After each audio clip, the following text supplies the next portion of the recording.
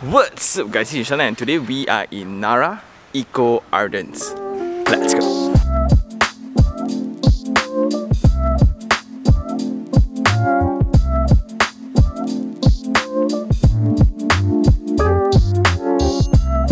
Today we are switching things up a little bit. We are going to check out the Nasi Lemak properties where everybody loves. But just that in this format, it's a strata title project. And the benefit of this format is that you can take control of almost everything such as the facilities, the landscape, the security, the common areas and etc. And in Nara itself, there are two types of products. One will be the link houses that kind of look like semi-D. They did it in a very clever way. Then they also have this courtyard homes. So it's like an apartment, a landed apartment format, which I really adore.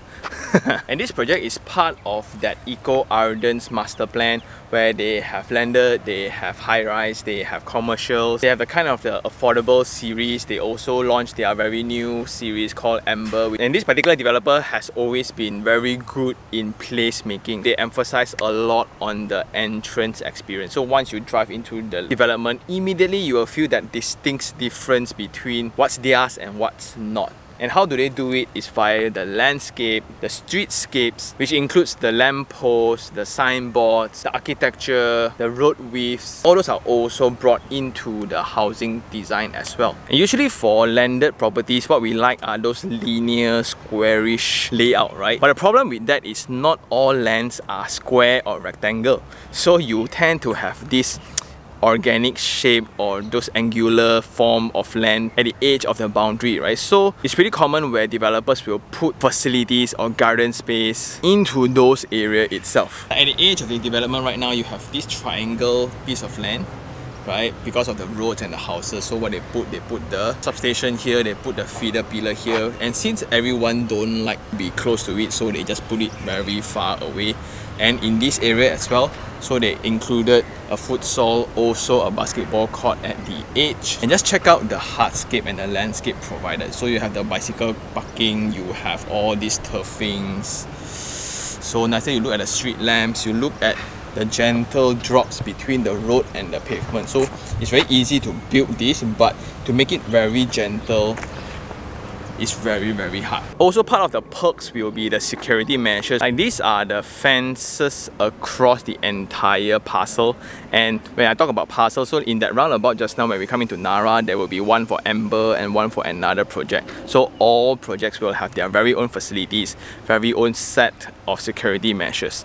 And part of the measures also includes the double boom gate design because I kind of have a bad experience of people tailgating into a development itself. So the double boom gate, some people will see that, do you really need all this, right? Got so scary man community. Then when we are picking the unit of our choice, right? Because at the edge of the road, usually it's best that developers will put a cul-de-sac to it. And it's for security purposes, so only cars of residents of this row will be using this road. And here you can just look at the width from house to house. It's so far apart. Wow, and they're using pavers at the cul-de-sac tar for the normal roads. Lah. And just by walking past this road itself, there are many houses that are going through the renovation phase which is great. So these are usually people who are buying it for own stay purposes. And the myth about strata houses not being able to be renovated or changed in terms of the facade, not entirely true. There'll be a set of templates or you just need to have approval from the management itself. So let's say I want to do the kitchen behind, I want to do my front porch, what can be done. Everybody has a say to it. If not, your neighbor just do up something, paint a whole house purple, you cannot say anything like that is also weird. So this is also to preserve the entire image, the entire entire flavor of the township itself. Whenever a visitor comes into the development, wow! And this will be the unit I'm going to check today. So this is the experience of why people prefer landed property. It's the connection between you and your car. Let's say I just park here. I move up, move in, I forget something, go up, come in, move grocery, bring my kid. It's just easier.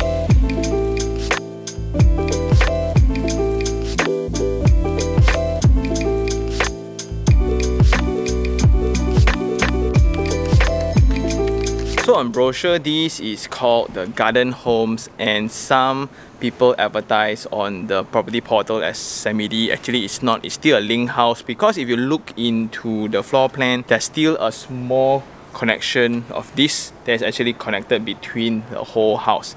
Because once it's a semi-D then there will be a different setback requirements to be imposed already. So this is somewhat like that in between product in a terrace house as well as a semi-D. So you kind of have a garden inside. And this is variation 3D or they call it type 3D lah. so in total this is 2166 square feet and 4 bedrooms in total. So the boundary from line to line will be 30 feet and the length of the unit will be 60 feet so it's 30 by 60, a rather squarish format. And this will be your water meter, your refuse. Then here you have a garden space of 2.6 meters in width. Then this is the car porch of 3.2 meters. So the debate here will then be the length of this car porch. So can you extend it or not? That is up to the management's approval. You have tiled floorings here. You have windows in the front, which is nice and this will be the main door. So the first thing I wish is that there could be another platform so the slope can be a little bit more gentle or you can just put it as a ramp to go up. So this will be the unit itself and from the car porch going in, this will be the living and there will be a nook here and this will be the garden. That's why it's called a garden home. Some is attached to the back, some is attached to the front it depends which one you like. And the center will be the dining, then the kitchen at the back connecting to a storeroom. So that's pretty useful. You have the bedroom at the ground floor, a common bathroom and going upstairs. There will be three bedrooms upstairs and you can see bedroom 2, bedroom 3. Both of them have their ensuite bathroom. That's so luxurious. The best thing about this layout is bedroom 3 here also gets to have window in the center because of the void created here. Okay, so that's the benefit. All the toilets suddenly can be placed in the center and that opens up the entire 30 feet of width absolutely for the principal bedroom.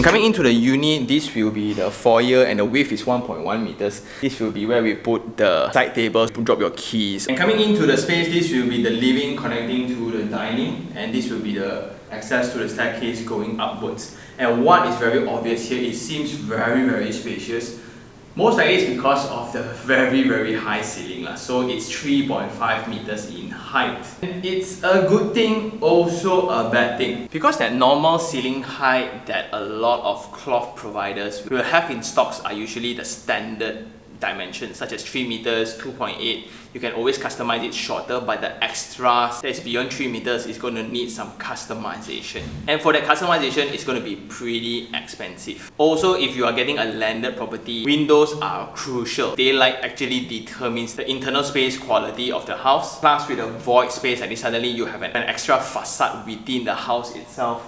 So there will be extra cost for curtains as well. But what's cool about this unit is this is that very rare attempt for the makeover guys to furnish a landed property. If you look into the property portal today, this property is going for 1.35 million in selling price and I guess it's pretty close to the price that they bought 3 years ago. But in terms of asking rental price, it's 6,000 per month. So from the foyer, this is the living space and there's this nook of space in between two big windows like this this then requires some space planning. I think it's a perfect reading corner. It will also make a great place for a kid's play area too because it's so bright. But if you don't know how to design yourself, then this is gonna be a problem actually because many may think like, huh, why an extra space like that? Then why must I have a garden here because it also means that it's taking away space from your main built area. Why? Why not just concrete it all and make it as your floor area? It's always a debate lah. And this area for a normal terrace house is all built up. Then suddenly people will have the imagination of what if all this is just that conventional form of house, right? It's gonna be so huge this is an absolute waste of space. In that form of argument, then it's a debate between quantity of space versus quality of space. Like if you were to extend the entire 30 feet altogether, yes, the living space and the dining space is going to be humongous. But your 6-seater is still 6-seater, matakan because of the space being bigger, you put a 12-seater. Then suddenly you have a lot of white space going on and it's not as pleasant because you will actually lose out in ventilation, lose out in daylighting. And those are the common issues for terrace houses actually. For a conventional terrace house, the only opening will be the front and the back.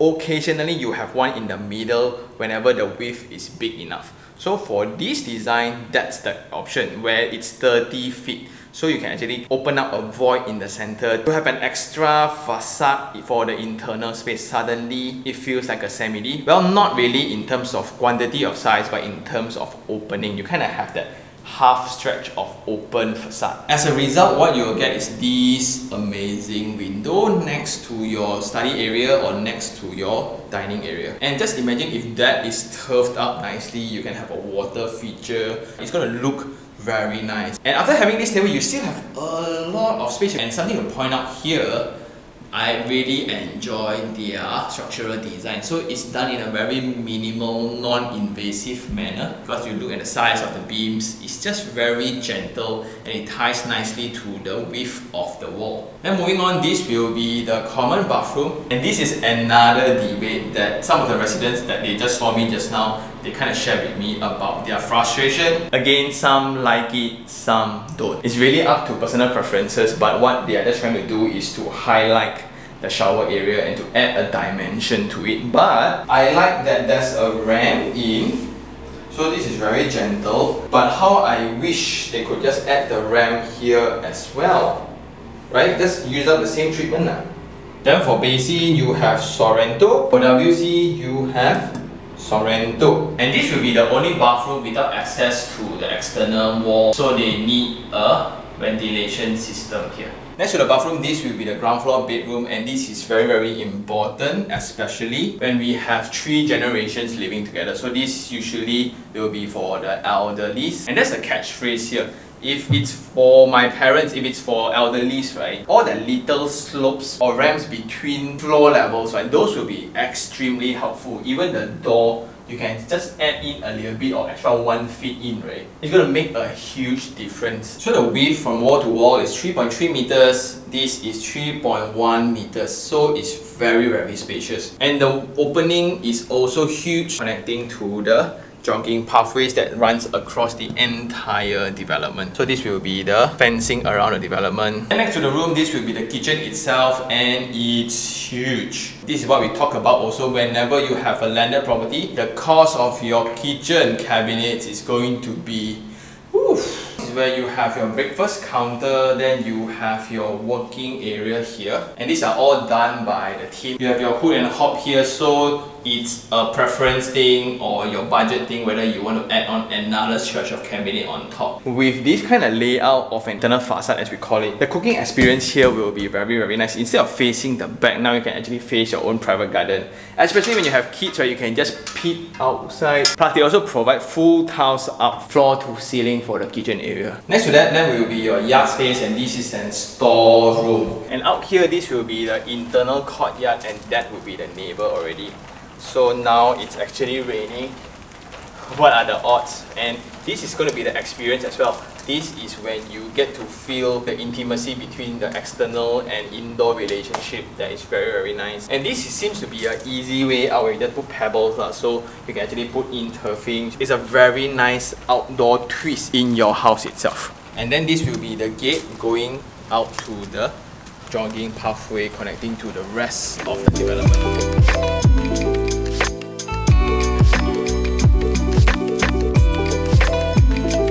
Upstairs, this is a 1.1 meters width staircase, full tiles, and you have the handrail on the side here. And I like the chamfer detail. Coming upstairs, the entire floorings will be this kind of laminated timber.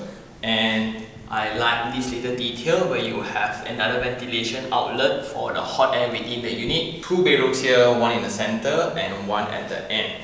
And this is pretty peculiar because this is only possible when you have this internal wall. You know, a room like this would not be possible at all. But look at this one, the window panel is so generous. Also because of the width of that 30 feet for the house, right, they can accommodate this 3 meters room, including a corridor and the stairs and still have a space for void. The only problem now is you will have this overlooking issue lah because from window to window hello right so you will need to have curtains or window tints moving on this will be the ensuite bathroom for the room and the same comment goes for the shower area. The rest are pretty standard full height wall tiles, shower, Sorrento basin and WC and a small window here. I think this is added by the team, not directly from the developer. But I like this detail of having the pebble wash detail here is a very nice termination between the timber and the tile area. But this is always a wet area.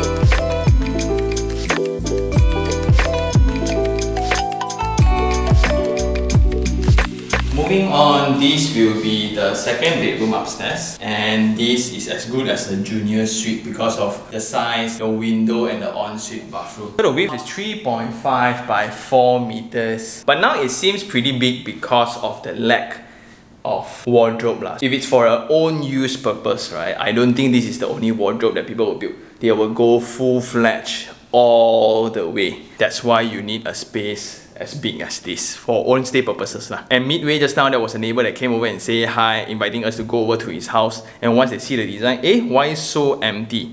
And the main difference, the owner wants to rent it out first. Then this will be the ensuite bathroom, similar specs, Sorrento Basin, WC. And last but not least, this is the principal bedroom. From here, all the way to there. The entire 30 feet is used up for your principal bedroom. And it's such a luxury. But again, if it's for your own stay, right? So half of it or more than half of it will be the walk-in wardrobe for your wife. We need to include also a dressing table for her then our little corner is just there. so a king size bed here looks so small. Along with the 3.2 meter ceiling height, right? Look at this space. Wow. And this is less than half of the entire room. Crazy. You will actually get tired from taking the towel from your bed. Hey, get a t-shirt.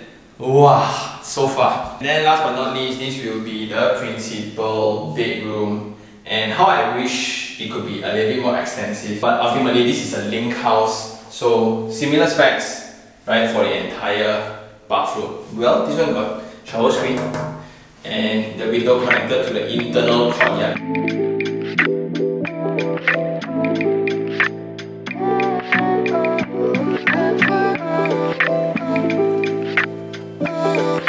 And walking out from the house, sometimes for projects like this, right, we are actually paying more than what's within that 30 to 60 feet. It's the environment that comes along with the development. So in this one, we also have this common space that we spoke about just now. This will be the places where you can exercise a little bit and the landscapes are all part of the maintenance fees that a lot of people are kind of reluctant to pay. But ultimately, if you understand what you are paying for and why you are paying it, it suddenly makes sense. So these are actually part of what you are buying. And we have the signature of the developer to create spaces like this for you to take pictures. It also becomes a focal point whenever you look out from your window. But again, you look at the boundary, this will be the main parcel of this owner and this will be the common areas that is maintained by everyone else. And you can look at the cul-de-sac there, cul-de-sac there.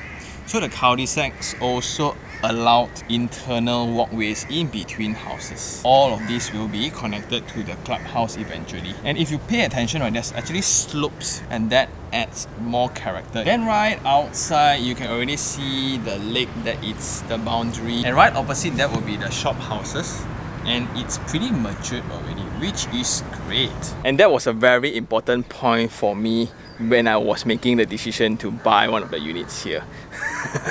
Ultimately, I want to go out for lunch. It needs to be quick, right? Gao team, yeah. Also, when we're looking into landed developments in the future, what's going to be the language? Will be all these, like the boundaries, the CCTVs, the street lamps, the experience of walking around the common areas, distance and privacy between houses. Generally places for you to enjoy with your family. What a luxury of having this amount of space just for you to just chill around.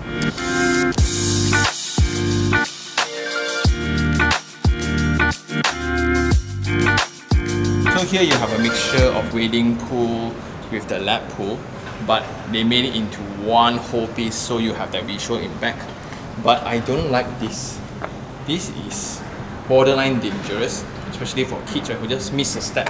Then this will be the gym room next to the pool and this will be the sunken deck. Here also you will have a kids playground at the end next to the pool. Then you have a barbecue area in the center of the pool. Very nice spot here. You have a deck. You also have a function hall up for you to rent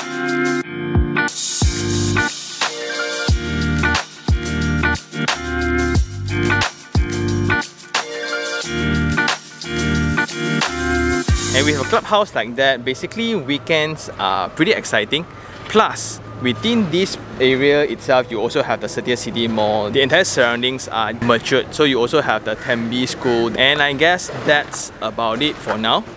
Uh, it's now time for Sean's Take 3 on 3. And now we are at Ardence Lab, where there's a mixture of commercial activities. So they have the grocer here, the kindergarten, pubs for drinking, F&B outlets, the football field during some nights are really really active and the main selling point still will be the lake and the park around it lah.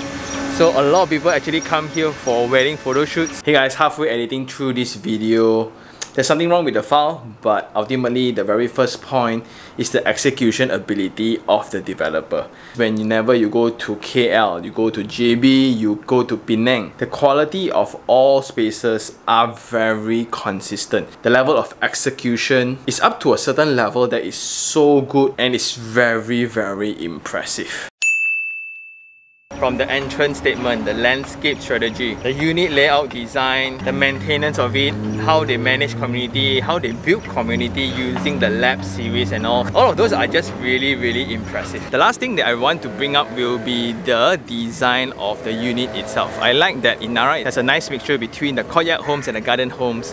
And I also like the risk that the development team took with the garden homes design. It's not your usual link houses. It will be so easy and so safe to sell the normal conventional terrace house, but they choose to go with a garden home concept where there's a void within the unit.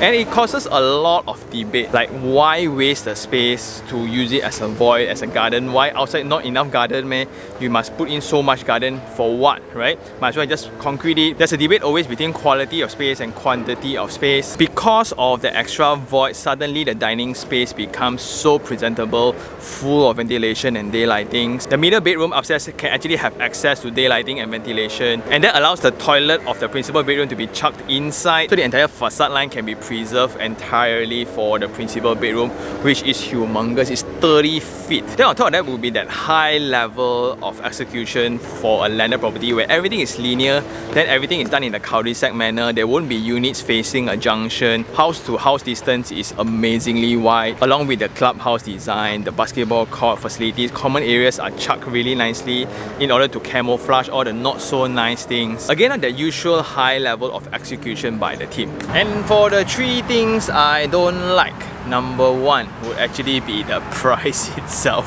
because I think when they were selling it's already 1.3 the corner lot which is the owner that came and say hi just now he bought it at 1.6, 1.7 ish. Ultimately, it's for a link house designed differently. And when I say expensive, it's in comparison to whatever that's available within proximity, which is that double story terrace house, the usual layout of 2275 or 2475 feet. Those are around 7 to 800,000. Even the corner lots there are barely around a million. But here an intermediate lot is already 1.3 to 1.4 million. That's a bit steep, but it's still sold out right? People are very receptive. People here love the concept. They love the different unique selling points that the project is giving, the township is giving. So interesting, right? The second thing I don't like or might have concern of will be the only way out, which is the NKVE highway.